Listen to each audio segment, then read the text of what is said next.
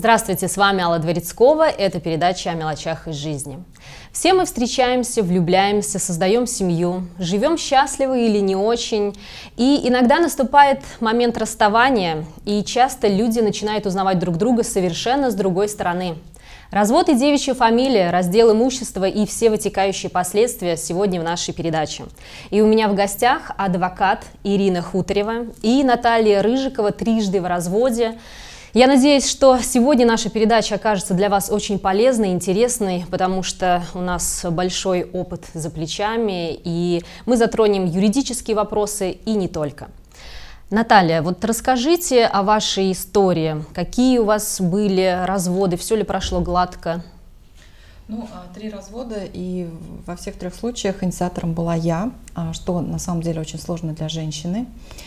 А, проблемы, ну, в первый развод мы были молодые, поэтому каких-то разногласий не было. Больше было эмоций, чувств, сложно было расставаться и там были проблемы, ну, как сказать...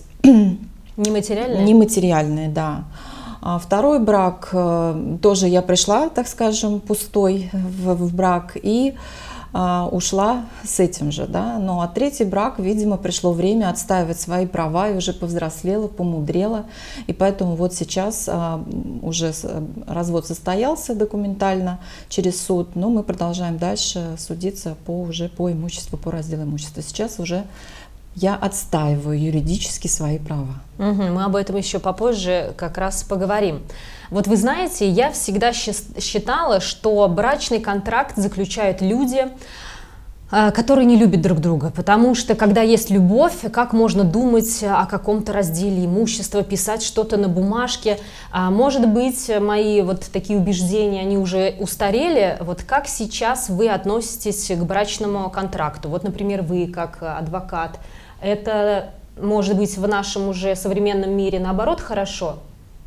К сожалению, в Ульяновске практика заключения брачного контракта, она небольшая абсолютно. Очень мало кто из людей доходит, а это абсолютно продуманный, юридически обоснованный факт. То есть вся Европа, весь цивилизованный мир давно смотрит на это абсолютно с положительной стороны. И люди приходят перед тем, как заключить вступить в брак, заключить его, соответственно, к нотариусу, либо специально в других странах это могут и адвокаты сделать, приходят и заключают брачное соглашение, которое впоследствии обережет их, их имущество, их нервы вот от этой бесконечной вот этой вот ссоры при разводе, дележа имущества. Ирина, вы сейчас говорите как адвокат или даже просто вот с точки зрения женщины? Ну, вы знаете, наверное, все-таки как адвокат потому что, слава богу, при первом разводе у меня не было дележа имущества, ну, тоже пришлось мне это пережить. Но как адвокат, к сожалению, практика очень маленькая, тем более в нашем регионе, в Москве, да, а вот у нас в Ульяновске это очень мало, поэтому говорить о том, что у нас есть достаточное количество решений судов, которые вот делили бы имущество по брачному контракту, к сожалению, мало. А вот э, у вас, э, по-моему, и дочь есть? Да? Старшая. У меня две дочери. А уже вышли замуж, нет? Нет, старшая а... ей 15, а маленькая всего а 2. вот э, когда-то этот момент настанет, вот э, что вы, как вы будете настаивать на брачном контракте или как пожелает? Вы знаете, наверное, это дело каждого, абсолютно. Но все-таки, если мама юрист, если мама адвокат, тем более имея имущество, допустим, своей семьи, я бы, да, я бы рекомендовала своей дочери Почему? Потому что, как правило, у женщин остаются дети. Женщина, она, знаете, вот такая вот, вот как ку, ну, курица, да, вот мы ее назовем наседка, вот она все в дом, как волчица, все в дом, все в семью. Поэтому должна она подумать не только о себе, но и о потомстве, которое за плечами, для того, чтобы у них жизнь была угу. в том же уровне, которая была до развода. Поэтому женщине здесь, извините, надо подумать еще о тех, кто за плечами. Угу. Наталья, как вы относитесь к брачному контракту? Был ли он Я у вас? вообще за брачный контракт. А притом я хочу сказать, что даже его можно заключить не только в начале брака, но и в процессе брака, и даже перед разводом. А, я а, просила об этом своего бывшего супруга, просила заключить этот а, договор. Третьего какого? Третьего, последнего, да, заключить такой договор, чтобы у нас все было оговорено до развода. Вот, но у меня не получилось его уговорить. И я э, за, когда отношения изначально у молодых людей, у мужчин и женщин, независимо от возраста, если они осознанные, если они зрелые, это всегда до взаимопонимания. И если ваш мужчина говорит, зачем нам, я люблю тебя, это уже говорит о том, что он не хочет брать ответственность за вас. Я думаю, что если мужчина или женщина вас уважает и любит, она примет эту позицию. И вот эти стандарты, стереотипы, то, что вот мы что такое, как какие-то, какие документы будем заключать, мне кажется, уже сейчас не работает, потому что сам длительный срок существования брака, как у наших родителей, он сейчас очень, так скажем, подвержен испытаниям, слаб, абсолютно слаб, и материально, и морально. Поэтому лучше договориться на берегу, так легче обоим и увереннее идти угу. дальше. То есть вы за брачный контракт, да? Да, да я рекомендую всеми руками и ногами. Угу, спасибо. Ирина, вот расскажите нам о, о видах развода. Как можно разводиться, потому что, по-моему, несколько. Ну, самый простой это в случае, если муж и жена в период брака не нажили детей, в этом случае они и при взаимном согласии, это очень важно, только если оба согласны на развод. Соответственно, они приходят в обычные органы ЗАГСа, где заключали, там другая дверь, где написано «развод». Угу. Ну вот, соответственно, они подают заявление и их разводят. Если один из супругов не согласен, либо имеются несовершеннолетние дети, в этом случае все разводы оформляются в суде. На сегодняшний день такими делами занимаются мировые судьи. Вот два вида развода. К сожалению, больше нигде разводиться нельзя. Это большое заблуждение, что можно у нотариуса там, или еще где-то. Только органы ЗАГСа и решение суда. Но хочу отметить, что в случае решения суда после его вынесения брак не считается сразу расторгнутым. Большое заблуждение, люди сразу бегут в ЗАГС получать свидетельство о расторжении брака. Надо дождаться 30 суток по закону, а зачастую с учетом пересыла вот этих временных моментов, это 35 суток, соответственно, чтобы он вступил в законную силу. Только после этого со штампом можно идти в ЗАГС и получать свидетельство о расторжении брака. А вы владеете информацией у нас э, в нашем городе чаще каким способом разводят? Через суд суд. Через... По статистике, да, через суд. Угу. Потому что, как правило, один из супругов не согласен. Вот как наша гостья сказала, что инициатором она, допустим, муж ее не согласен на развод, тогда, к сожалению, только в суд. Угу. Наталья, расскажите, вот какие сложности у вас э, возникли после третьего развода? С чем вы столкнулись? Что для вас было совершенно новым? Ну, а, во-первых, безусловно, когда мы говорим о разводе, мы не просыпаемся утром, говорит, все, я с тобой развожусь. А, разговоры были долго, в течение двух лет, я шла к этому решению, для меня это было сложно. И, конечно, самые основные а, моменты, которые нас останавливают, это имущество, которое вы нажили вместе, купили, и родители, и близкие, и друзья, Наташа, как же вы будете делить, а что же, а это, а то. И часто бывает, женщины идут назад, да, но для меня мое эмоциональное состояние было важнее, в приоритете, я не боялась, я знала, что э, у меня все получится. И а до еще до развода были моменты, которые э, такие были уже ну, э, скажем, конфликты, которые я могла сразу юридически оформить, и это было бы в дальнейшем для меня поддержкой. Но я, опять же, пошла на поводу своей совести, не принимала никаких решений, хотя мне говорили, что если бы я обратилась в органы туда, в органы сюда, сразу бы э, пресекла вот эти движения незаконные со стороны э, супруга, то мне было бы сейчас легче. Но я, так скажем, спустя рукава это, на эмоциях. Ну ладно, вроде бы 8 лет прожили, не обращалась в определенные органы. И, соответственно, сейчас э, мне приходится, так скажем, уже на свою совесть наступать и смотреть именно юридически на все эти вопросы, на все эти моменты. Поэтому э, сложности, опять же, договориться можно было до а, суда, всегда есть возможность договориться до суда, но мы никак не могли прийти к согласию. Очень много было разговоров, переговоров, но здесь такой момент, что желательно, чтобы всегда присутствовали третьи лица, когда вы договариваетесь даже ну, вот, на словах, между да, между собой, а, потому что потом получается опять э, все переворачивается и привело в итоге все к суду. Наталья, а вот э, какой, скажем так, объем вот раздела имущества?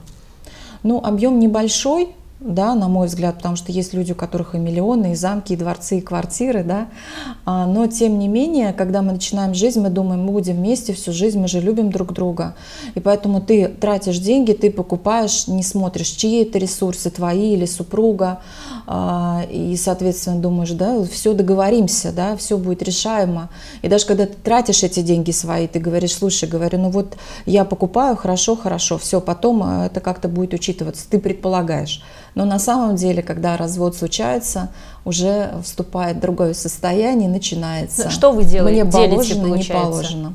Ну, на данный момент мы э, разделили уже, у нас состоялся суд, э, дачный участок, земельный участок, э, плюс загородный дом, плюс следующий этап это у нас квартира. Но вот. ложки, вилки вы не делите? Я э, против этого, да, но, э, как сказал адвокат, э, юрист э, моего бывшего супруга, он сказал, что сейчас вот они готовят как раз на имущество, то есть на то, что вот э, на квартиру и, э, как это называется юридически, когда право пользования. То угу. есть чем, что его, что мое, чем я могу пользоваться, чем он может пользоваться. То есть вот этот момент, конечно, для меня это самый страшный, потому что я не боюсь это потерять. Это очень а, унижает и оскорбляет личность человека. Это морально тяжело. Морально и для женщины, и для мужчины. Это принижение своего достоинства человеческого лица. Ирина, но вот правильно я владею информацией, что одежда не делится, что там у нас еще и не делится, драгоценности, по-моему, делятся. Предметы личного гардероба. Драгоценности у нас относятся к предметам роскоши, угу. соответственно, они подлежат но еще я, вы знаете, хотела сказать, адвокатам, юристам приходится выступать как со стороны женщин, так и со стороны мужчин. И бывают очень интересные случаи как раз со стороны мужчин. Абсолютно удивительно, уникальные, когда хочется и наоборот защитить мужчину, Мужчина. конечно. То есть по, по, по практике получается не всегда в разделе имущества э, женщина жертва. Могут не быть всегда. и, и мужчины. Не всегда. А чаще кто жертва? Чаще женщина, конечно, да. Но, кстати, я бы тоже отметила ну, может быть, и в моей практике случалось, что но большинство мужчин все-таки можно назвать мужчинами с большой буквы, угу. которые не опускаются, вот как раз, как наш гость сказал, до того момента, чтобы а, определять пользование вот этими стиральными угу. машинами, телевизорами, вот этим всем. Пусть она хорошая, дорогая техника, но ведь женщина хозяйка дома, и все мы понимаем, что вот да, все-таки вот... таких мужчин большинство, которые вот это имущество, предметы обихода, то, что стоит в, в доме внутри, которое пусть оно нажито, угу. но они оставляют все-таки женщины. Угу. Я даже больше скажу, э, мой бывший муж, когда мы разводились, э, мы решили все это мирно, и вопрос с квартирой, и машины, мы обошлись без вот этих судов, и, и с его стороны был э, благородный поступок для своих же детей. Да, а вот расскажите тогда нам про алименты, раз уж мы заговорили о детях, когда в браке есть дети и не только раздел имущества, но и вот все такие моменты. Ну, алименты можно взыскать, кстати, и находясь в браке.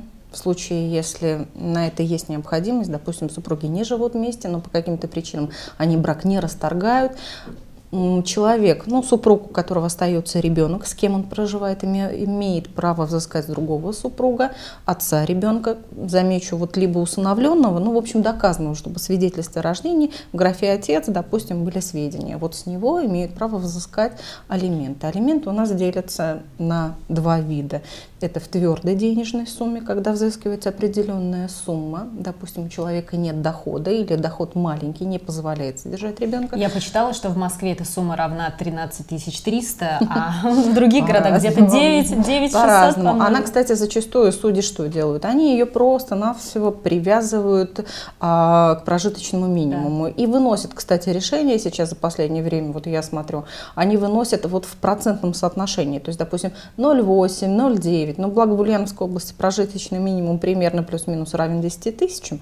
Поэтому мы видим, что 0,8 это 8 тысяч на одного ребенка могут, там 0,9 это 9 тысяч и так далее. Но помимо этого, если в браке маленький ребенок, то есть вы понимаете, что, кстати, о разводе, если ребенок не достиг одного года, в случае, если второй супруг не согласен, не согласен развод никто не получит.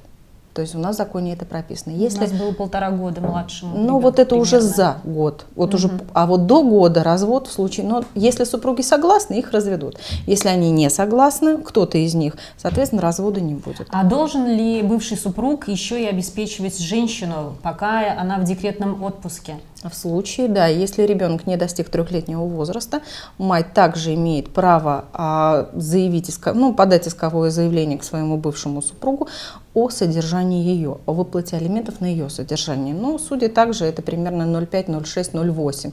Вот такие границы. Это до трех лет ребенка? До да? трех лет. Да. Но в случае, если у мамы нет дополнительного дохода, если она не работает. Бывает же мама, допустим, как я выходила, когда ребенку было и 6 месяцев, первому и второму я выходила в 4 вообще месяца. Ну, вот, поэтому по-разному бывает. Угу. Наталья, у вас были алименты? Вопрос. А если а, я слышала, что а, когда присваивают алименты супругу, то есть отцу ребенка, соответственно, когда отец не сможет сам за собой ухаживать, то есть будет в старости, он также может потребовать элементы от да. своего ребенка. Я тоже читала об этом. Последнее мое дело по такому заявлению закончилось, к, ну, к нашему счастью, отказом. Дело в том, что моя клиентка была в декретном отпуске.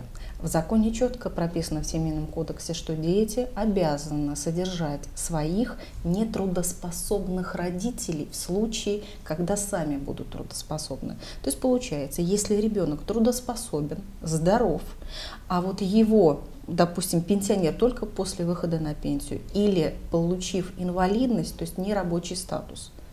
Вот когда его отец, допустим, инвалид, не работает, он вправе требовать алименты на свое содержание. Часто Но такие случаи? Это не часто, и, кстати, суммы не очень большие. Всегда. А если э, ребенок даже не платил, э, то есть ребенку не платил алименты отец, это все равно работает закон? Он имеет право. Это, кстати, тоже угу. прописано, что к сожалению, вот такая ситуация. И отцы очень часто этим пользуются. Гуляют, гуляют, гуляют. Вот тоже был случай. Ну вот абсолютно, знаете, такая личная деформация человека. Думаешь, ну как у тебя, вот у нее на руках годовалый ребенок, а он с нее алименты требует.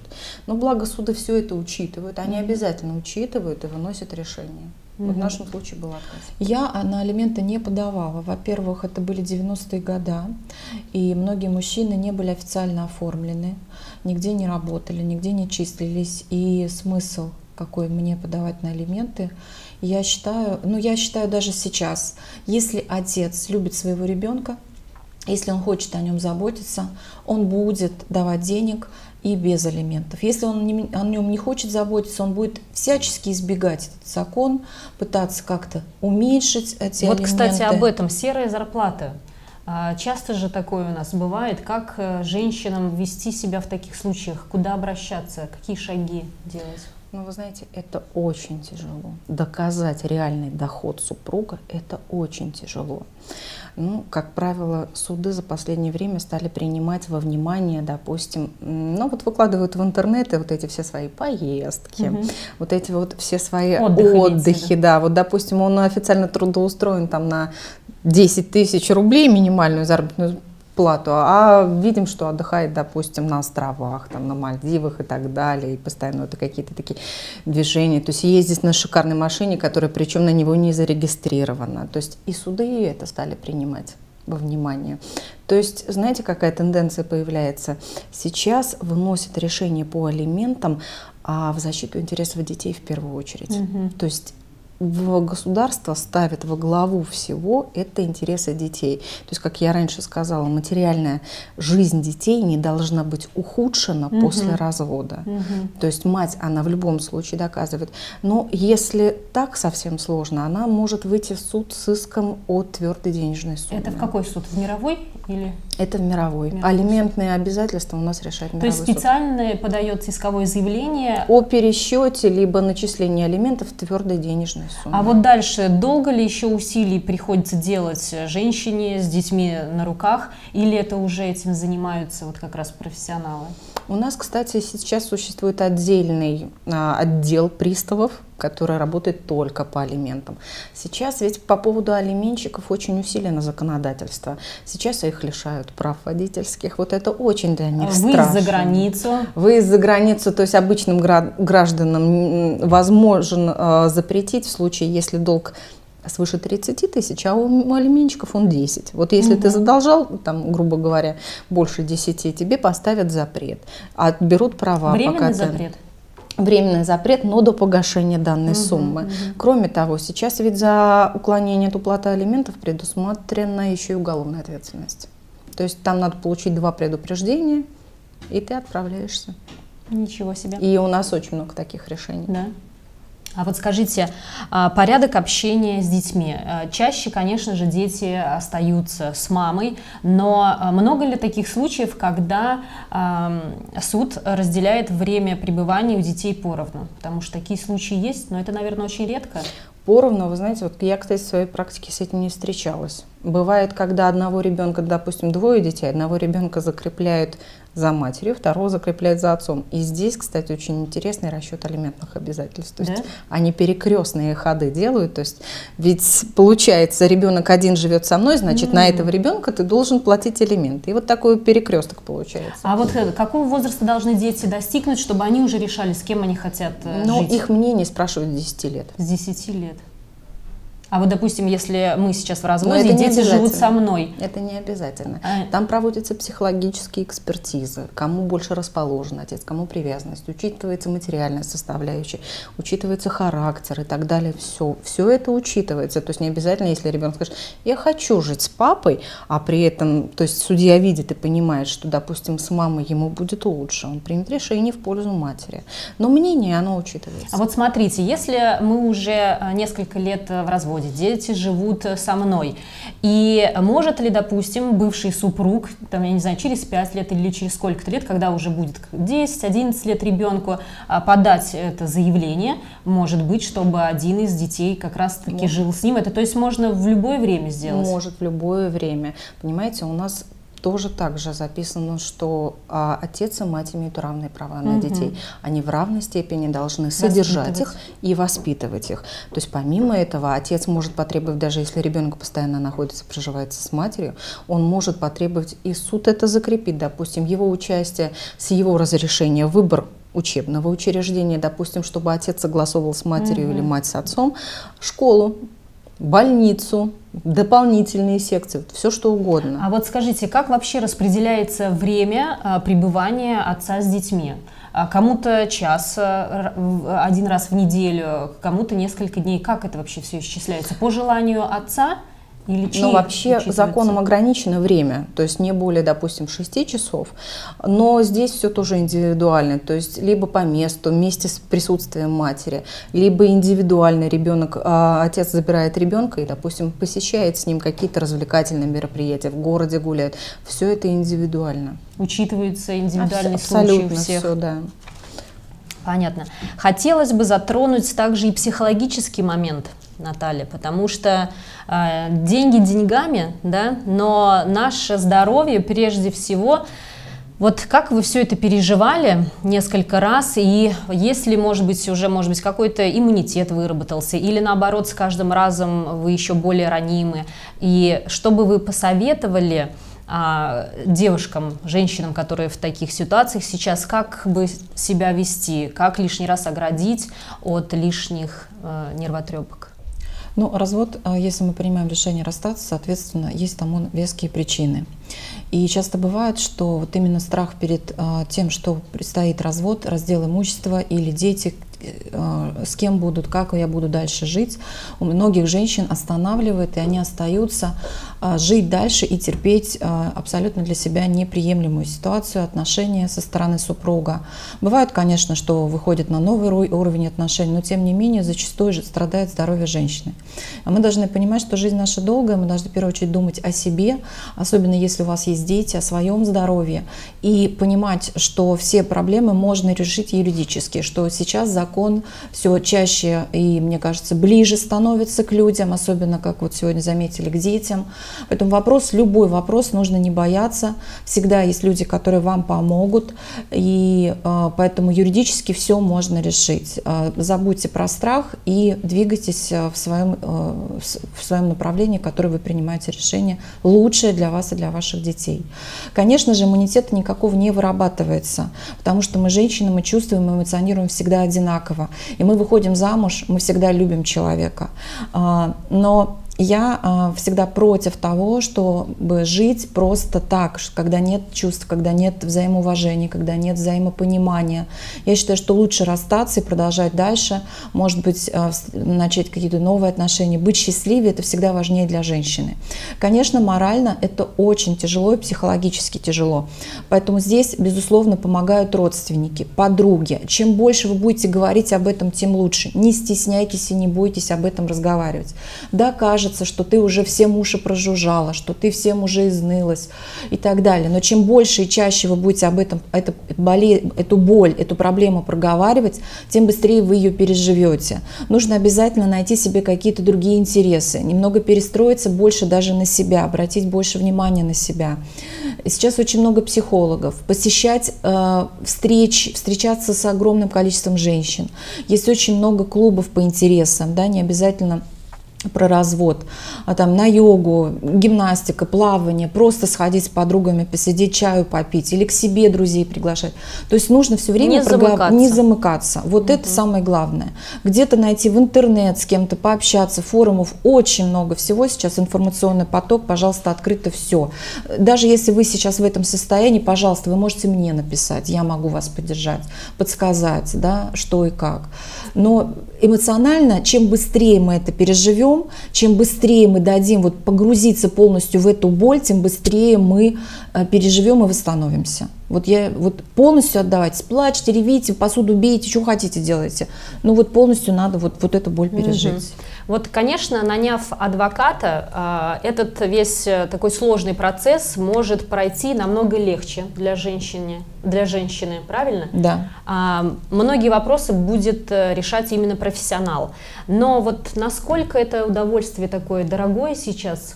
Как вот это все по расценкам? Это же длительный временной промежуток, да, вот всего этого процесса.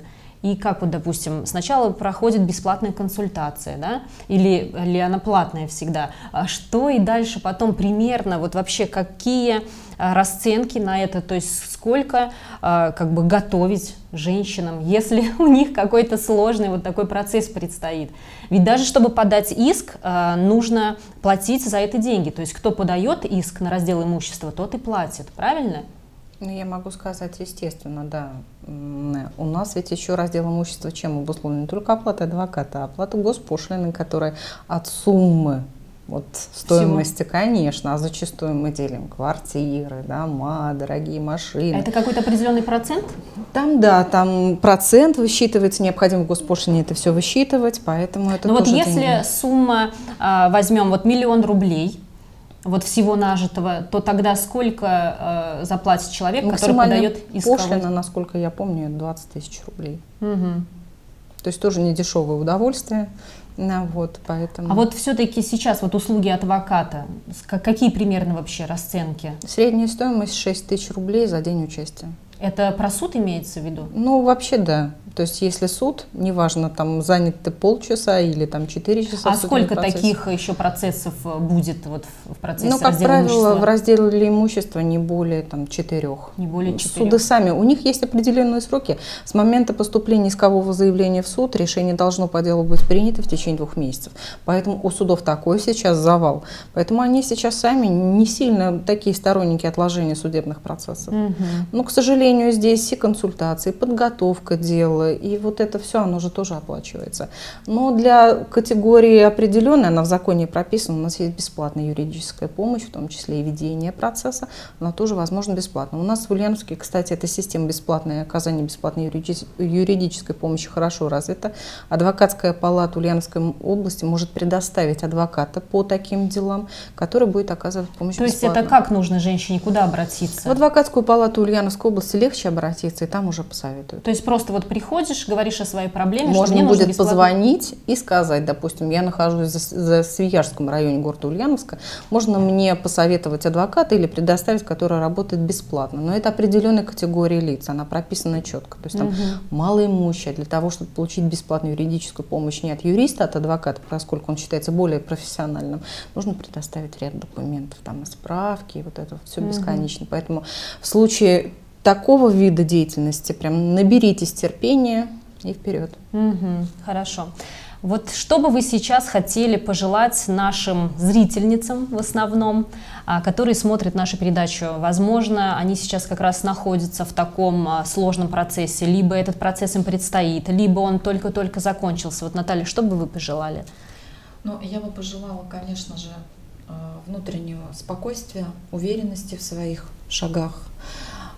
И обязательно пожелала бы все-таки не бояться обращаться к юристам, к адвокатам, а, обсуждать свою проблему а, с профессионалами, именно с профессионалами, потому что когда ты приходишь, ты не просто на кухне с подружками делишь это имущество или обсуждаешь, да, какой он такой секой, а ты приходишь, и юрист тебе конкретно и четко объясняет твои права, на что ты можешь претендовать, на что ты не можешь претендовать. И ты уже с более здравым взглядом смотришь на вещи. Поэтому я желаю быть уверенной в своих шагах, идти с твердым намерением, ничего не бояться, и обязательно обращаться за юридической помощью, консультациями и так далее. Ирина, что бы вы пожелали? Вы знаете, самое главное помнить, что не вы первые, не вы последние. Вот даже мы сейчас втроем, находясь здесь, мы все трое через это прошли. Ну а психологически, конечно, знаете, песня у Антонова была такая «Новая встреча, лучшее средство от одиночества». Вот помните, что все еще впереди. Вот я развелась один раз и нашла свое счастье, дай бог, вот оно будет рядом со мной долгие-долгие годы. И это самое главное. Да, дай бог, чтобы все были в итоге счастливы. А самое главное, чтобы были счастливы ваши дети. С вами была передача о мелочах из жизни. Ведущая Алла Дворецкова, мои гости Ирина Хуторева и Наталья Рыжикова. Увидимся с вами в следующей передаче на allpravda.ru. Пока-пока.